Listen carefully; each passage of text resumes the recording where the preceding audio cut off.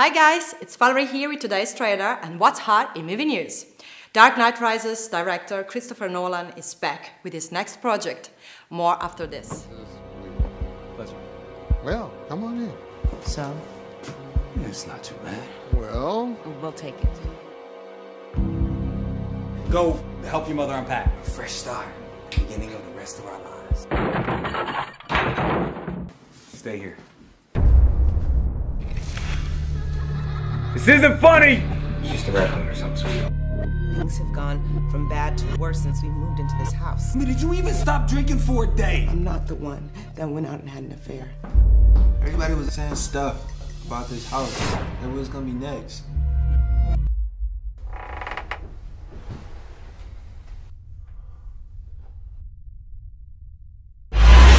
There's something in this house, and we think we know how to get rid of it. something here. This is our house! Go and don't come back!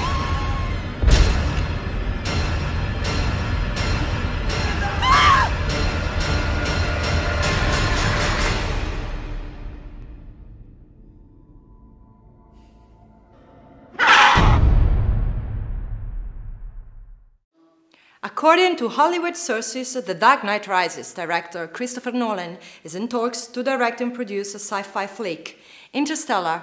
The screenplay, written by his regular collaborator and brother Jonathan Nolan, sees a group of explorers travel through a wormhole. Heavily focused on time travel and alternative dimensions, the story is apparently based on scientific theories by theoretical and gravitational physicist Kip Thorne. We'll bring you more information on Interstellar as we get it. Thanks for watching. Visit acinemanews.com for all your movie trailers and news.